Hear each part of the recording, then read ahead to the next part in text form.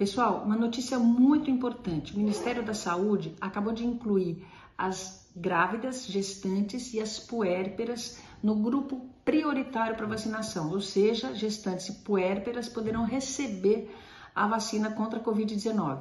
Para a gente entender, puerpério é o período imediatamente após o parto, logo depois que o bebê nasce. Até uns 40, 60 dias, mais ou menos, é o período que a gente considera de puerpério.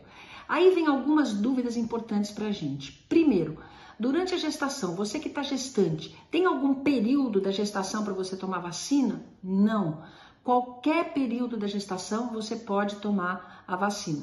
Segunda dúvida importante: as mães que já tiveram um bebê, estão no puerpério, estão em aleitamento materno. Tem que suspender o aleitamento materno durante o, período que você toma a vacina? Não. Segue com aleitamento materno normal, sem suspender. Terceira dúvida importante: para gestantes e puérperas, existe alguma vacina específica que tem que tomar? Não. Qualquer vacina, a gente tem duas atualmente no Brasil a Coronavac e a de Oxford da AstraZeneca, qualquer uma dessas vacinas serve, tá bom? Então, você que está grávida, gestante ou puérpera, vá procurar é, onde você pode e quando você pode e deve receber sua vacina, tá bom?